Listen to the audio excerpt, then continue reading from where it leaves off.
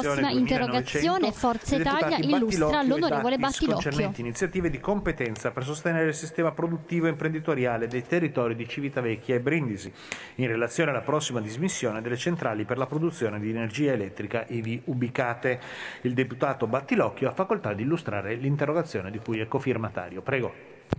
Grazie Presidente, Civitavecchia e Brindisi, due territori bellissimi, ricchi di storia, cultura, tradizioni, beni archeologici riconosciuti anche in sede UNESCO e con due sistemi portuali che in particolare negli ultimi anni hanno consolidato il loro ruolo strategico. Ma Civitavecchia e Brindisi da decenni ospitano anche due grandi centrali per la produzione di energia elettrica che hanno contribuito in maniera nevralgica, determinante all'approvvigionamento energetico nazionale. Oggi stiamo virando e noi condividiamo in direzione diversa con dismissione dei due impianti senza riconversione. Ma, signor Ministro, quali percorsi specifici di sostegno ai sistemi produttivi locali ha in programma il Governo per riconoscere l'attenzione dovuta a queste aree che hanno dato davvero tanto in questi anni nell'interesse generale del Paese. La ringrazio onorevole Battilocchio, le risponde il Ministro dello Sviluppo Economico, l'onorevole Giancarlo Giorgetti. Eh, grazie onorevole Presidente, onorevole Battilocchio. Lei ha ricordato la vicenda delle centrali elettriche site nei territori di Civitavecchia e Brindisi destinate alla chiusura entro il 2025 in coerenza col Piano Nazionale Integrato per Energia e Clima 2030. A riguardo, fermo restando che ogni scelta in ordine alle tempistiche di dismissione delle attuali tecnologie e al possibile passaggio verso la produzione in loco di energie rinnovabili andrà valutata dal Governo e dal competente Ministero, il MITE, nel quadro dell'evoluzione della situazione di crisi energetica in atto, per quanto di competenza del MISE posso confermare la piena attenzione ai temi della tutela occupazionale, della riconversione industriale e dell'attrazione degli investimenti. Senza leccare eh, gli strumenti che sono stati in questi ultimi mesi eh, previsti per i settori in crisi, eh, in questa ottica voglio affrontare il tema della futura riconversione dei siti e, e in particolare quello dello sviluppo delle tecnologie innovative e sostenibili, da selezionare in un idoneo quadro progettuale di ampio raggio. Tra gli strumenti che ritengo maggiormente funzionali allo scopo, metto ai primi posti l'IPCEI, gli importanti progetti di comune interesse europeo che consentono di agevolare i soggetti interessati allo sviluppo di progetti di rilevanza tecnologica e di innovazione a livello europeo.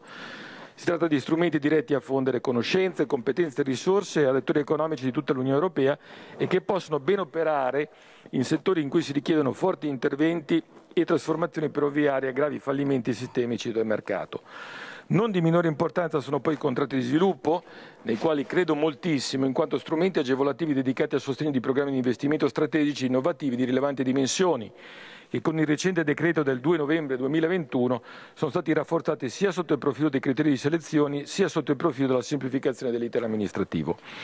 Ovviamente ogni iniziativa andrà valutata in pieno raccordo con gli operatori interessati, con le amministrazioni competenti e con le realtà locali al fine di addivenire alla piena valorizzazione del territorio, facendo in modo che la sfida verso la transizione ecologica diventi una spinta verso la riconversione e l'occasione per nuove sfide che coniugano ecologia, produzione e piena tutela occupazionale, rilanciando progettualità innovative e incrementando nuove funzioni produttive.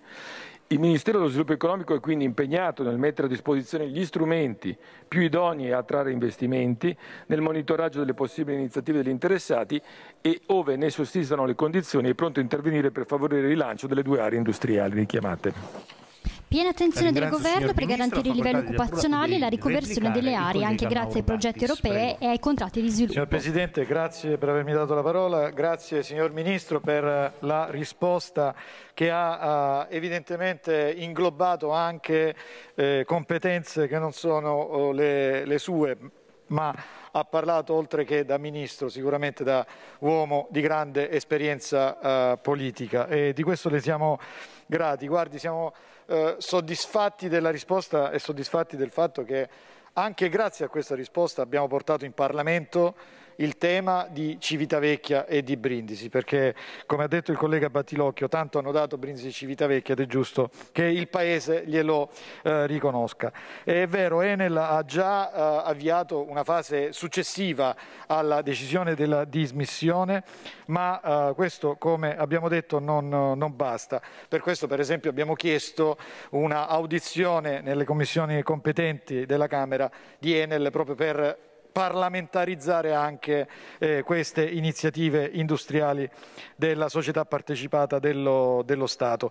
Eh, occorre attrarre investitori, gli strumenti sono quelli che ha elencato, ma c'è bisogno di una regia, c'è bisogno di una cabina di regia perché permetta di abbinare la conversione ambientale anche a quella eh, industriale. Per la verità noi abbiamo avuto già la visita del suo viceministro a Brindisi, dell'onorevole del senatore Pichetto, il ministro Calfagna ha, come sa, attivato il CIS di Brindisi e Lecce e si sta attivando anche per eh, Civitavecchia, ma è ora adesso che eh, le iniziative vengono sottoposte ad una regia, quindi eh, noi produrremo qualche iniziativa eh, parlamentare, ma è ovvio che la nostra iniziativa parlamentare dovrà appoggiare sulla volontà espressa del governo e soprattutto sulla capacità del governo, in questo caso affidandoci molto all'attività del Ministero dello Sviluppo Economico, di essere regista di tutte queste iniziative. Grazie.